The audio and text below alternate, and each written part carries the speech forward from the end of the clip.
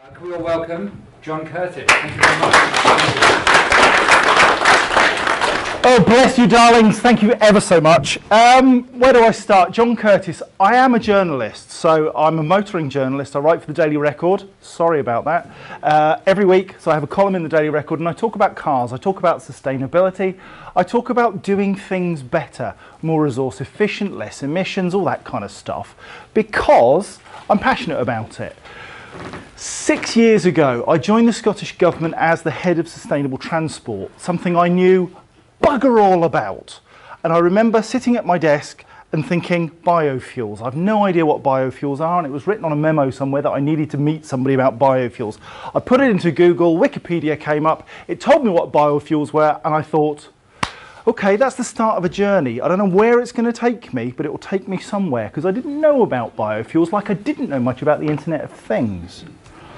And over the course of two or three years, I put in all the policies for Scotland about electric cars, biofuels, hydrogen vehicles, renewable energy, sustainable transport, so buses, trains, planes, hydrofoils, hovercrafts, you name it, I've written policies about it. God, it's boring being a civil servant. Who's a civil servant in the room? You. Boring? Yeah, there you go, it's boring. Sorry, I was trying to get Tim's attention. Tim, Can you, like, are those, can you roll me one of those? So One of go the these? camera? Yeah. Is okay. it full? Is it cold? This one is full, it is cold. Make it happen. Good man. There you go.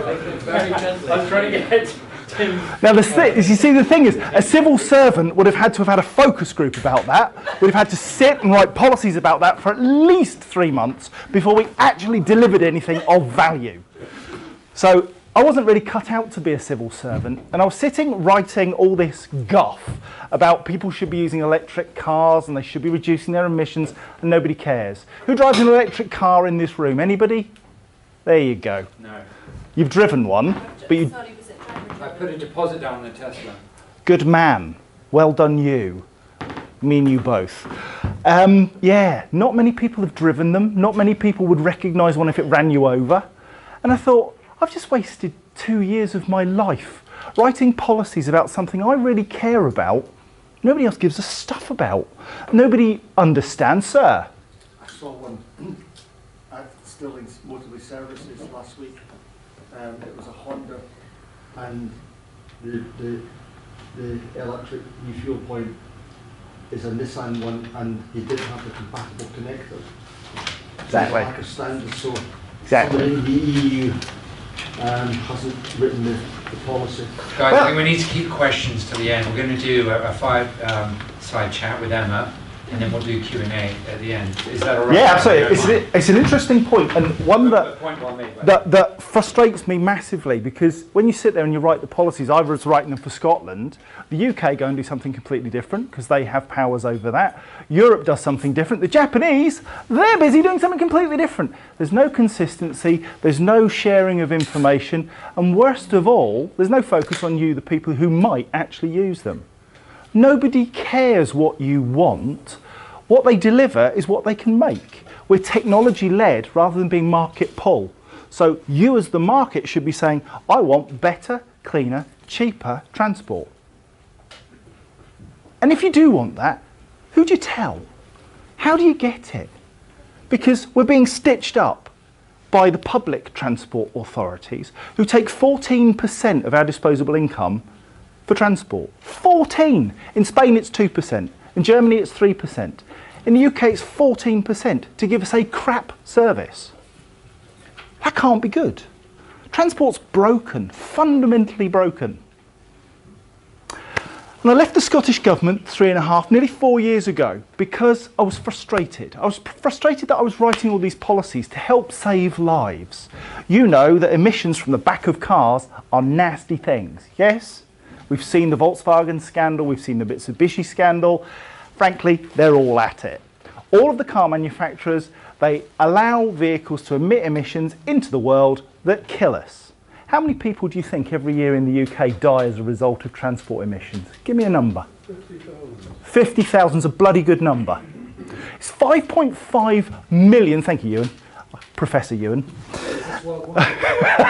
5.5 million people worldwide die every year as a result of poor air quality.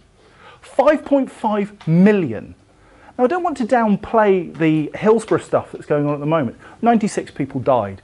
A terrible, terrible tragedy. And the news is full of it.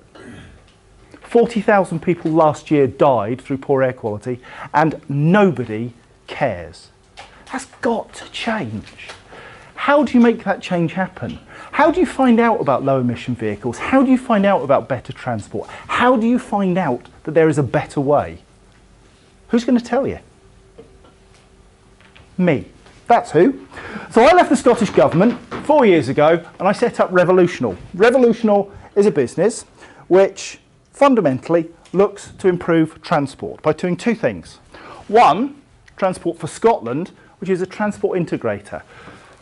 When you want to go from point A to point B, you might have to use multiple modes of transport. So you might have to use your feet to walk to a point where you pick up a bus or a bike or something to take you part way, where you might interface with a train. You get on the train and you go along your journey, you get the other end and you walk again.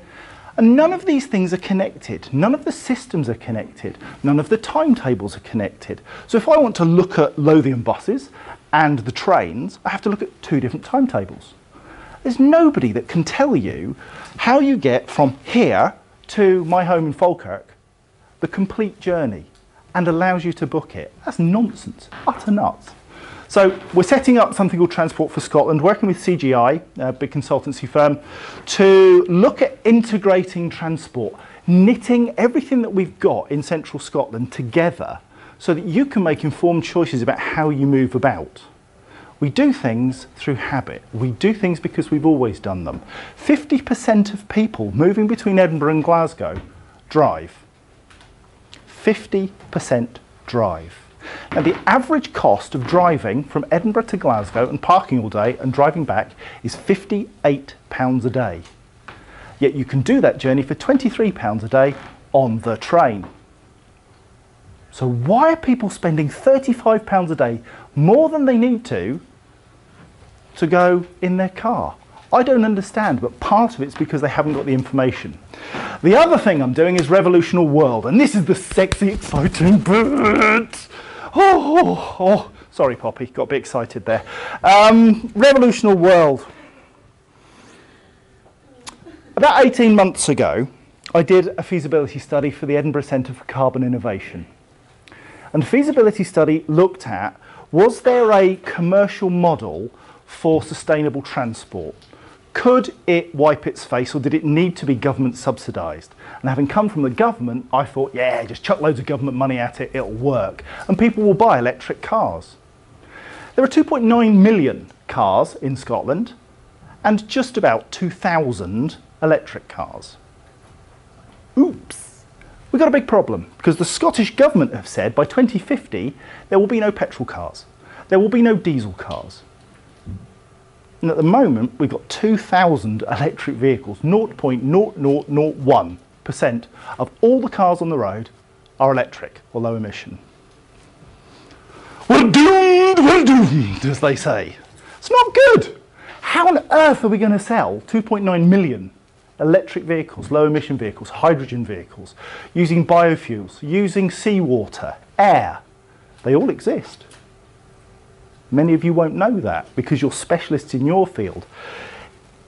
But I'm a specialist in mine and I want to share with you that specialism. I want to share with you that knowledge.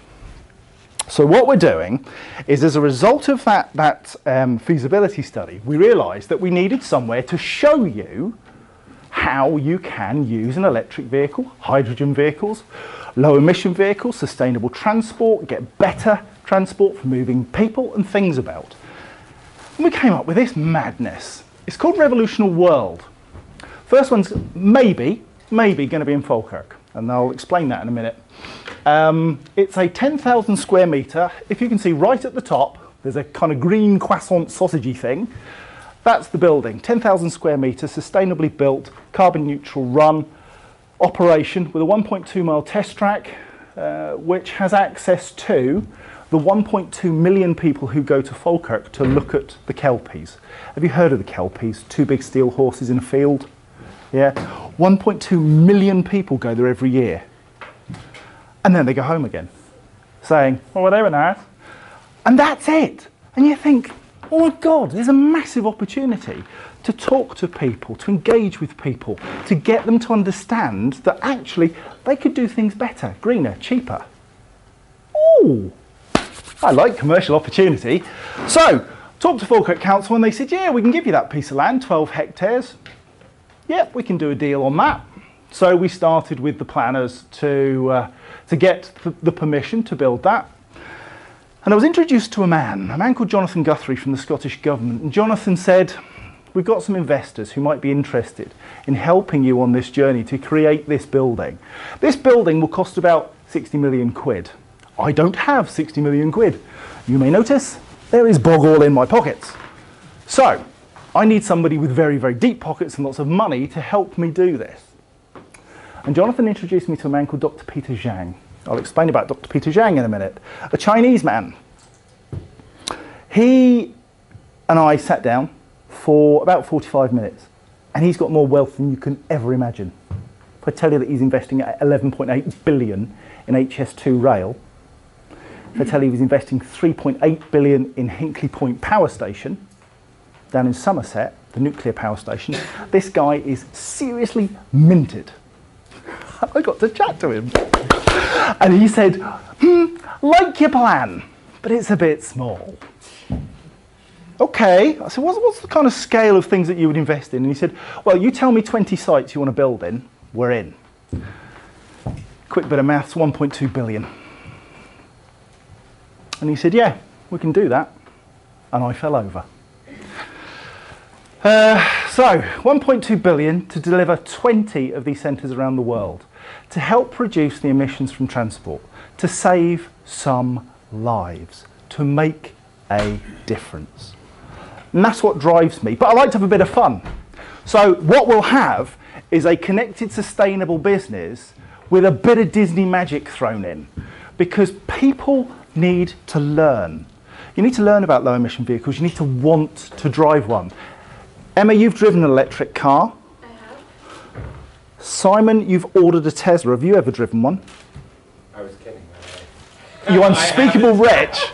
I wish I had though. Has anybody else driven one? The amount of people who have placed an order uh, on a Tesla is, is astonishing. 320,000 people ordered one in, in two days. So you've driven one. What did you think of the electric car you drove? Absolutely terrible. What was it? Enfield. Oh, well, that's, that's going back. It is, Things have moved on, fortunately. yes. Uh, but um, it was, it was not uh, ready for prime No, time, no. Uh, Tesla is getting there, Oof. but, they, but they've got some problems. They do have some problems. 0 to 60 in 2.8 seconds, 330 mile range, £100,000. I actually drove a Leaf. I just remembered it was at the motor show. Yeah. It was up in the NEC Birmingham. Yeah, they had kind of an Yeah, yeah. track and you could just get in and drive it around. It was kind of a, a, a peculiar. First of all, to be driving a car indoors with no Yep. sound, engine sound was very weird. And I'm a, you know, fully fledged petrol head, so I like the sound of a V8. No, no, I'm thinking the Leaf has a sound generator to, to warn people on the road. uh, It does. You know, if it, if it Yeah, but it was. It just felt weird. Under, You, you may have switched it off in, indoors. no, under 15 kilometres, it's always on. Uh, so yes, so absolutely. I was a Nissan ambassador, so I sell them for a living. Compared to a V8, it's quiet. Yeah, it's quick too. So an electric car, 0 to 60 in the Nissan Leaf was about eight seconds. Uh, the acceleration's like a 2.8 petrol, if that gives you any idea at all. It's quick. You can feel it in your back. And people always imagine electric cars, especially, are slow. They're like milk floats. That ain't the case, and that's why we need the track. We need you to get out there and have some fun. Safe fun, 70 mile an hour fun, not 110 mile an hour mental stick it in a gravel trap fun, but good fun so you can compare like for like. So you can go to Ford, Vauxhall, Nissan, and so on and so on and so on, and compare like for like and see which you like. If you like none of them, that's fine. Keep doing what you're doing. I have no problem with that. Perhaps you want to learn about the best ways of walking, the best routes for walking, green tourism, and how you get around Scotland without polluting the planet. I'm not a lentil munching sandal wearer. I am a real human being. I have a 3 litre diesel outside, Jaguar XFS, 0 to 60 in 5.9 seconds quicker than a Porsche. Okay, so I, I come from the real world where people will always want to have fast, dirty cars. However, there's a better way of doing lots of the journeys that we do. I have a Nissan Leaf. My Nissan Leaf is electric. It costs me 2p a mile to run. Petrol car, about 16p a mile. So I'm, I'm quids in, saving money hand over fist. And that's why I do it, because it's better value, better for the environment. The business, unfortunately, a lot of this you can't read, um, is around managing the negative impacts of transport. We all know that there are costs associated with transport, whether it be trains, buses, whatever it might be. They create noise, pollution, they're not good things. We can do it better. The electrification of the line between Edinburgh and Glasgow is a good example. With investment and with the right thinking, we can do better things. But this is a market that's massive. The electric vehicle market in the UK is estimated to be worth 51 billion pounds every year by 2030. 51 billion just in the UK. This tiny little dot in the middle of nowhere. I've got an opportunity to go out to 20 markets and work with people to help them understand what we can do with low emission vehicles. And we do that in a number of ways. I mentioned smart tourism, green tourism.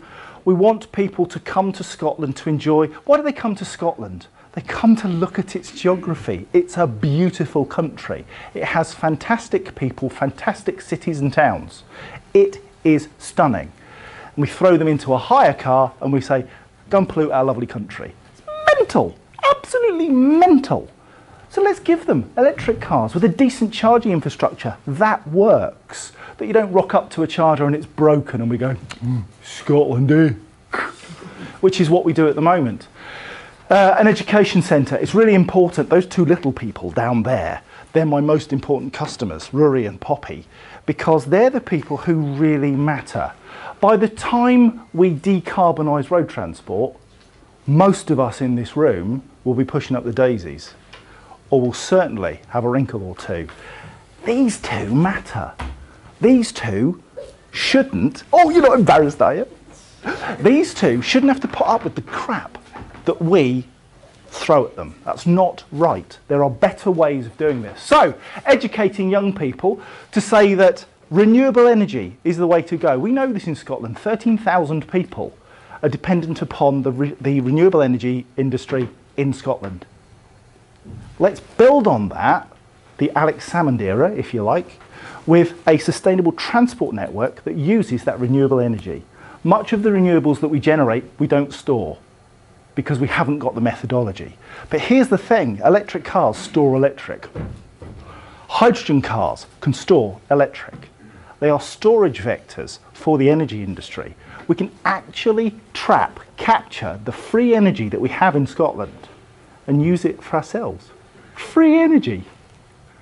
What's not to like? A business centre, so many businesses. Emma, you worked for a company called Route Monkey. Route Monkey was a company that looked at how you use vehicles and do it more effectively, more efficiently by optimizing the routes, the ways that people go. Because traditionally, what we do is we either get into a car and say, I know how to get there, and we just go. Whether it's a good route, worse route, don't really know. We just do it because that's what we've always done. Your company used to do something about that. Still do something about that, you don't. Because you left. There's also fleet optimization. So within a fleet of vehicles, uh, Scottish Government have got 300 vehicles. They've only just bought two electric vehicles, and they bought those as a kind of tick in a box, really. But what they don't realise is that they could actually have about 80% of their vehicles as electric vehicles, reduce the costs of running them. But they don't know that because they don't know what their journey profiles are. They say we're too busy governing to worry about how many miles we do and what fuel we use. Business people say, oh, I'm too busy fixing computers to worry about that. I've got a business to run. I can't be doing that. What we can do is we can say, okay, let's have a look at how your business operates. Let's look at what fleet you have. Let's look how we optimize your routes and optimize your fleet makeup to get the very best out of the money that you spend. The bit that might be interesting to you is we, we have something called the collaboratory. The collaboratory. It's not a word that trips off the tongue when you're doing a presentation. Uh, the collaboratory is where we get people to come along and work with us to refine product, to get to customers. We're going to have 800,000 customers walking through the door every year. These are real people who we can test product on, get quick feedback, give it back to people who invent things, come up with new solutions, to hone it, polish it, make it better. So that might be something which is of value. We'll have shared services, spaces where people can come and work. So if you want to work with some of the industry experts that I work with, you can. So if you have an interest, let's say, in Wi-Fi and how Wi-Fi works on trains and on buses, so that we can get it better, faster. I work with Abellio, I work with First Bus, I work with Stagecoach all day, every day. In the other piece, which is Transport for Scotland, in integrating this transport, so we can put you with the right people to help you make those connections, to refine your business. Uh, we're taking Revolutionall on tour uh, whilst we're building these other centres. Um, so we'll go to Aberdeen, we'll go to Inverness, we'll go to Glasgow. We're not just going to be stuck in Falkirk, the middle of nowhere. Falkirk's important because it's. Go on. Sorry. No, no, no, I love it. I love a bit of laughter. It's not usual in my presentations. Go on. What's funny? Falkirk, Falkirk, get to Falkirk. What, what's funny? just in general.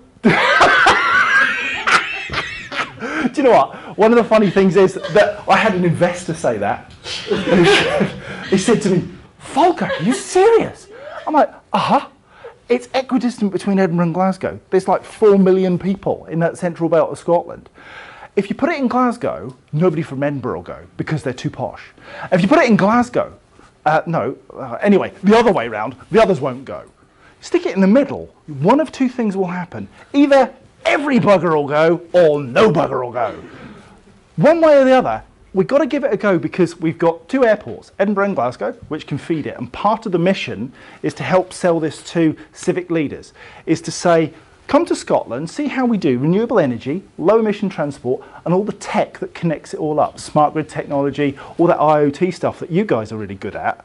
How do we make that work in an export sense? So we bring these civic leaders to Scotland and we say, flying to Falkirk, fly, uh, flying to Falkirk. Do you know what? There nearly was a Falkirk airport. Did you know that?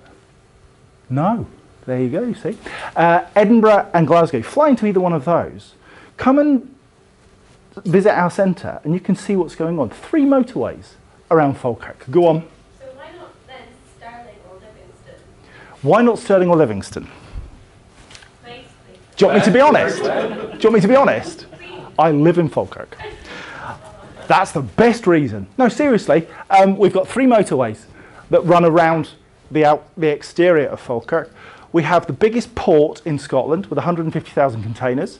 So there are some very, very good reasons. Another good reason is that Alexander Dennis, the bus manufacturer, who are the world's leading hybrid bus manufacturers, are based in Falkirk. They will use our track for testing purposes. At the moment, here's a mad story. At the moment, Alexander Dennis, when they build a bus, they send it from Falkirk to Guildford in England to test it. And then they drive it all the way back again. Because they haven't got a track up here that they can use. So part of the deal is that we will be able to help them to test their vehicles in Falkirk. So that's part of the reason. Now then, let me just show you, if I can. Doesn't look like I can. I was going to show you a video, but it doesn't seem to want to play. Ah, there we are. Ooh, ooh. Have I done bad things? Yeah. Sales have gone, John. Yes. It's like they're, um, It's not going to work. I was wondering why pictures of Emma's kids were on your computer. It's not going to work. Yeah, I've lost my screen. Alan! Help! Yeah, Alan, stream, it's by the way. a job. No pressure. So anyway, Falkirk is just the start. Um, this is going to sound mental, seeing as I was a civil servant four years ago, but the Crown Prince of Abu Dhabi phoned our architects well, not him personally, but one of his officials, and said, We've heard about this revolutional world thing. It was put in for a, an architecture award uh, in February. And he said, We like it. We'd like one. we said, Pardon? This guy uh, is worth 150 billion. Uh, Mohammed Al Nahyan, and he is the Crown Prince of Abu Dhabi. So we are now working with his officials to get Revolutionall World started in Abu Dhabi, and it may well be that that's quicker than doing it in Falkirk, funnily enough, because when the Crown Prince says yes, everybody says okay. So Falkirk is a bit challenging, but Abu Dhabi's a piece of cake. Thank you, Alan, very much for making that work. Uh, as, as I say, the Future Projects Award for 2016, we were put in for that, and that's where the Crown Prince's people saw it. A building is based on the Tesla coil. So some may know of the Tesla coil. It's kind of important for electric motors. Uh, it's there. Uh, what we did was we stuck two together, made a kind of croissant shape, and then we made it full of solar panels and seed them so that we can collect all the rainwater. Again, it sounds really kind of tree huggery. It's not. It's just making the best use of the resources we've got. We've got lots of sunshine, we've got lots of rain. Now, I'm not going to bother with, I'm not even going to try and do that video. There's a video in there. Shall I try? Yeah, go on. Give it a whirl. Let's give it a try. Would you play, please? Oh, here we go. This is the sort of thing we're going to do to get people involved, to get people understanding, to have some fun. This piece of kit is 50 grand. So we can have Formula E cars, racing cars that don't use any power at all, mocked up on these screens, curved screens, about 270 degrees. And believe me, that feels like you're in the car. Oculus Rift, you'll have seen the Oculus Rift headsets. We'll be using those as well to give people a real excitement factor. Because at the moment, if you want to see an electric car, good luck with that, whereas we can actually model anything. So if you want to have the Enfield from 1900 and frozen to death, we can model that and we can make it happen. If you want a 1920s New York truck that was electric, 30% of them were in the 1920s, we can do that. We can make that do anything. So you can take it out on the track, you can sit inside and play, or you can just go completely bonkers and drive a Nordschleifer and a Ferrari. You choose. But it's about engaging with people. It doesn't matter whether you're disabled and you need mobility, and that's the first type of vehicle of its kind, where you can just wheel straight into a car.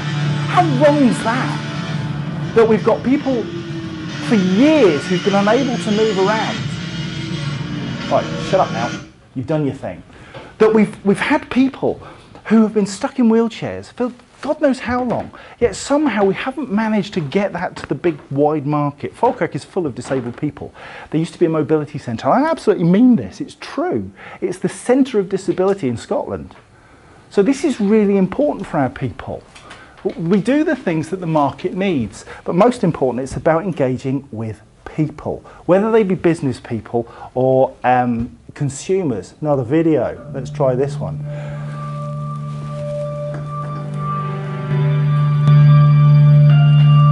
We want to show you the art of the possible. So this is the Faraday Future. This is one of the most amazing vehicles I have ever seen. And it's real. I don't know if that helps. So you can set up the car yourself using your smartphone. So you can give it more torque, less torque, quicker acceleration. You can change the suspension, the brake settings, everything using an app.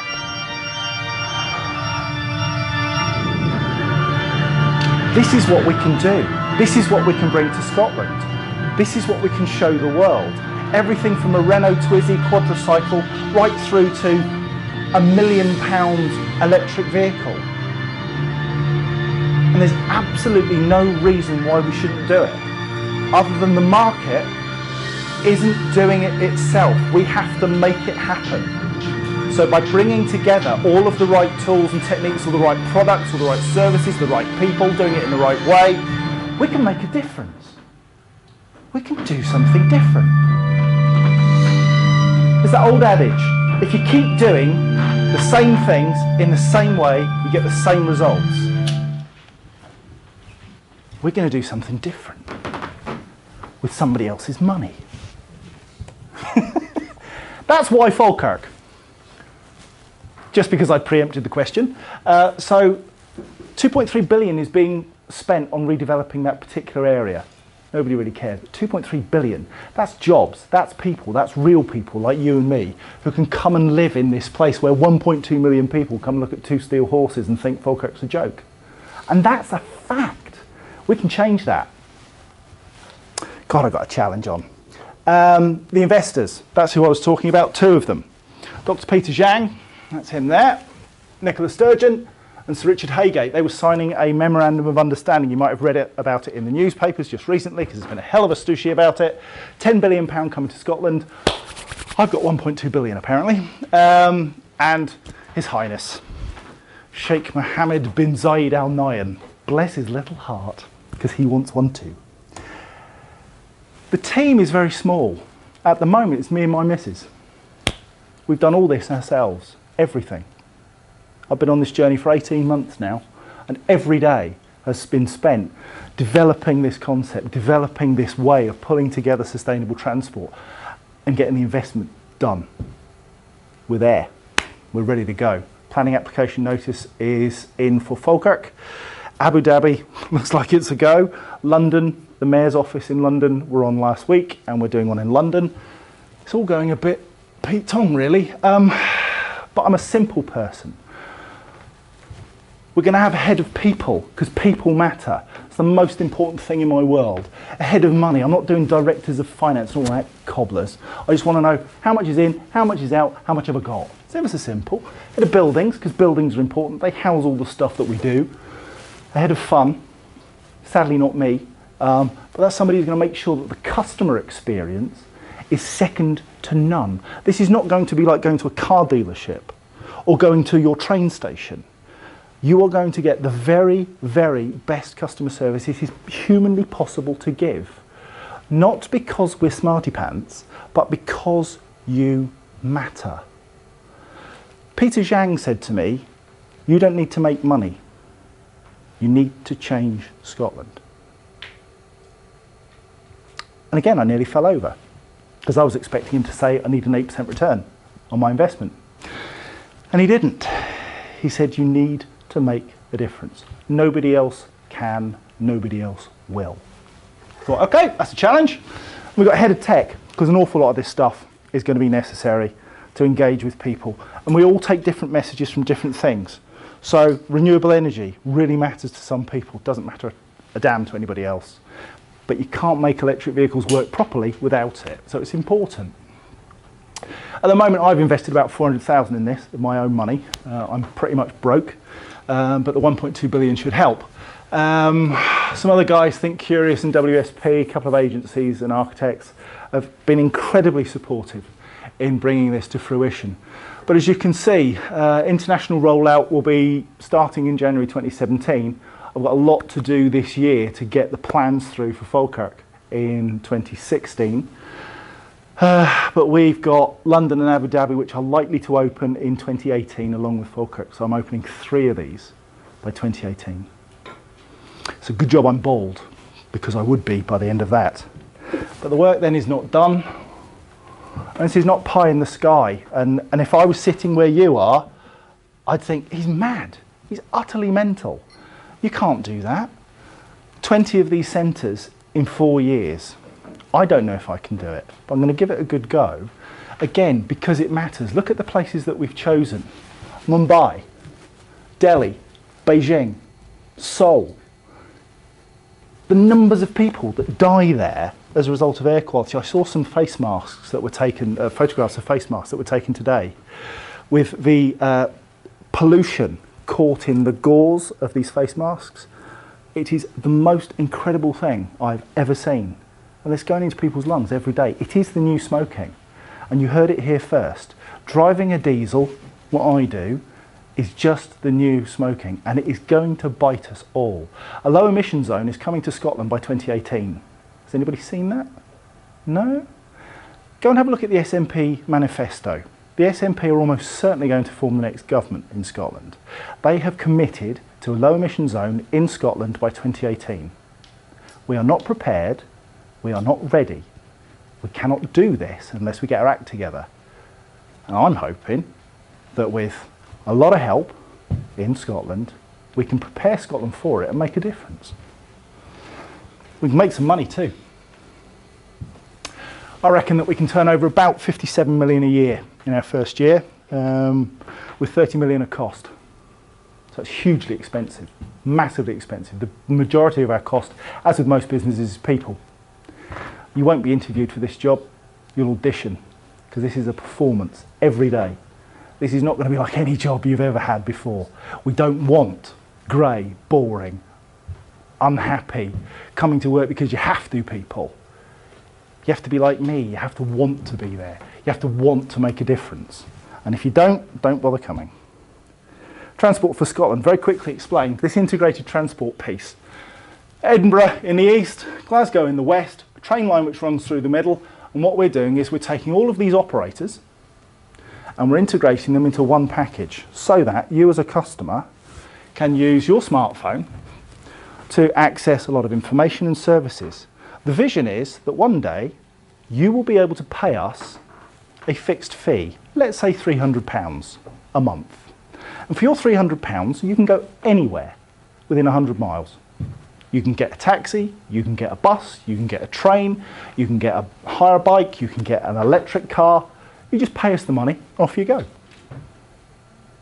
If you want a taxi within 15 minutes, you pay us 300 quid. If you're a business user and every second counts, you might pay us 600 and you'll get a taxi within five minutes. You can go 200 miles free and so on and so on. We build packages like we do with mobile phones. So that's what we're working towards now with Abellio, First Bus, Stagecoach, CGI, to make integrated transport work so that you get a better deal. Because at the moment, you're paying a lot more than that. Five, six, seven hundred pounds for your car, for the way that you move around, for your season ticket, and multiple season tickets that you don't use all the time. Again, there's a better way.